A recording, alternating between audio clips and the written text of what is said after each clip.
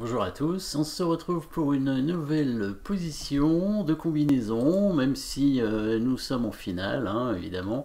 Finale de pions, euh, seulement, euh, seulement des pions avec les rois, évidemment. Donc les rois, le roi noir et blanc, et les pions, 4 pions chez les noirs contre 4 pions aussi hein, chez les blancs.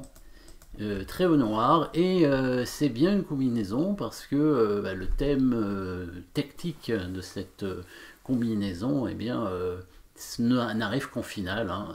qu'en finale le fameux thème tactique donc vous l'avez probablement compris de la pion la pion, donc pion, bah, le fait de, creuser une tranchée, un trou, on va dire, dans les pions adverses afin de faire passer un pion. Hein comme si on arrivait à marquer un essai en rugby.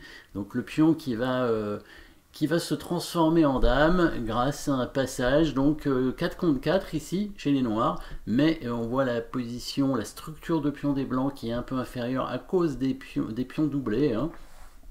des pions doublés en, G3 et G2 et du coup ça va laisser une possibilité au noir donc N'hésitez pas à chercher, bien entendu, hein, le, coup. Alors, habituellement, euh, on va euh, avancer ce qu'on appelle le pion candidat en premier. Donc, le pion candidat, c'est le pion qui n'a pas d'opposant, c'est le pion qui est candidat à être passé, et qui n'a pas d'opposant, ça veut dire qu'il n'a pas de pion devant lui. A priori, ce serait euh, le pion en H5. Effectivement, c'est ce pion-là qui va aller à dame.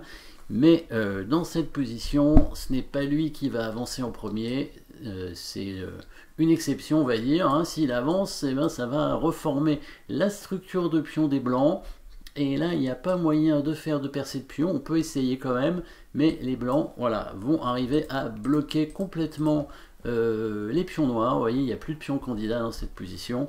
Et donc les noirs ne pourront pas aller à dame. Donc ce pion candidat, on va le conserver précieusement. Par contre, on va avancer les autres pions et on va commencer bah, par l'autre pion, hein, évidemment, il n'y en a qu'un, hein. c'est celui-ci, évidemment. Donc là, le coup, euh, le coup F4 qui fait un levier explosif hein, avec l'attaque sur les deux pions blancs. Un échange de pions va être euh, obligatoire, ou plutôt une prise de pion en tout cas, avec un nouveau pion candidat qui va apparaître. Euh, bon, ça dépendra évidemment de ce qu'il fait. Donc s'il prend du pion G donc vers le centre, et eh ben cette fois le pion candidat va pouvoir avancer tranquillement, il n'y a plus euh, euh, de, pion devant lui pour euh, à côté de lui pour le bloquer. Voilà, il forme le duo et du coup grâce au pion G4 il pourra avancer et aller à dame tranquillement. Hein. Le roi blanc bien sûr n'est pas dans le carré. Hein. Le roi blanc est trop loin, il peut se rapprocher, mais il ira pas plus voilà, pas assez loin, pas assez vite en tout cas. Il faudrait qu'il joue un deuxième coup de suite. Et non, on n'a pas le droit. Donc le pion va à dame. Et la dame va euh, capturer tous les pions blancs, ça c'est sûr. Donc, euh, autre option bien sûr, évidemment sur euh, le levier avec le pion qui avance son F4, c'est la prise vers le bord de l'échiquier, donc la prise externe on sait qu'il y a trois prises différentes hein, aux échecs avec les pions.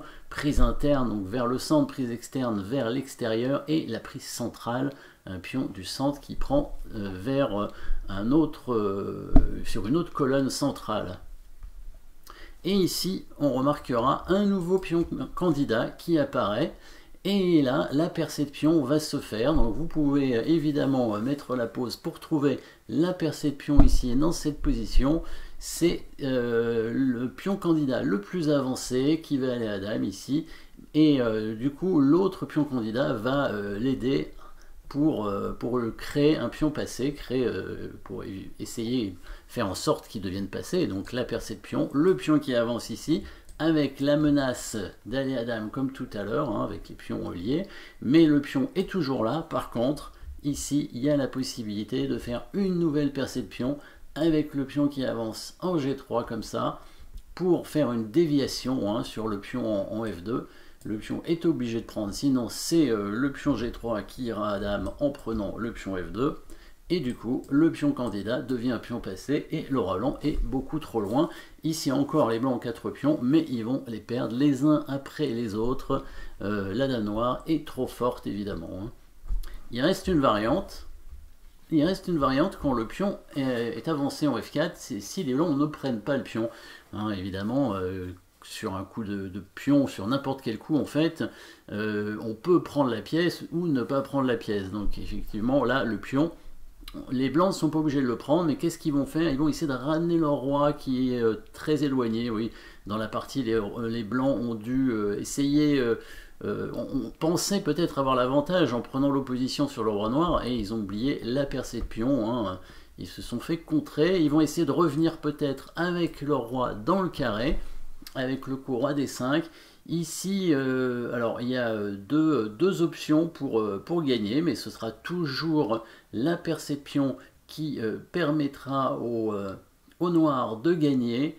Euh, toujours euh, le, pion, candidat qui va avancer pour créer euh, la percée de pion avec la création d'un pion, d'un pion passé. On va faire un levier en escalier, on va voir ce que c'est exactement. Donc le pion avance en H4 pour menacer comme d'habitude dame et si le, le pion prend en H4, on va faire le fameux levier en escalier. Est-ce que vous euh, voyez ce que c'est le levier en escalier? N'hésitez pas à mettre la pause. C'est bien sûr une percée de pion.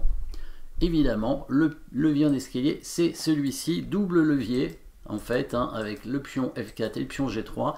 Et comme dans des marches d'escalier, hein, le pion qui avance en G3, si le pion prend G3, le pion noir reprendra de l'autre côté et ira à dame parce que le roi blanc n'est pas dans le carré. Hein. Ici, le roi blanc ne peut rien faire pour rentrer dans le carré. Dernière chance pour les blancs pour essayer de rentrer dans le carré, c'est prendre le pion avec le roi. Dans l'idée, si jamais euh, le pion avance en H3 comme tout à l'heure, les blancs prennent, et là maintenant, le roi blanc revient juste à temps dans le carré euh, du pion noir, et ici, on aura droit à un nouveau thème de combinaison hein, dans, cette, euh, dans cette finale. Hein. Bon, bien sûr, le pion passé, hein, thème de combinaison, mais aussi la pion. En toute façon, ça va ensemble. Quand il y a une pion, c'est forcément pour créer un pion passé. Et on a vu la déviation. Et là, il va y avoir le blocage, le blocage du roi. Oui, grâce à quel coup? N'hésitez pas à mettre la pause pour chercher. Le petit coup de pion en F3 qui menace d'aller à dame en prenant le pion ici. Et euh, quand le pion blanc va prendre le pion F3, évidemment, il va bloquer son roi. Et maintenant, le pion euh, noir peut avancer en H3 et le roi blanc ne peut plus l'arrêter. Encore une fois, les noirs vont faire dame et puis la dame va prendre tous les pions. Merci d'avoir suivi cette petite finale avec euh, une jolie percée de pions décisive pour les noirs. Et puis à très bientôt.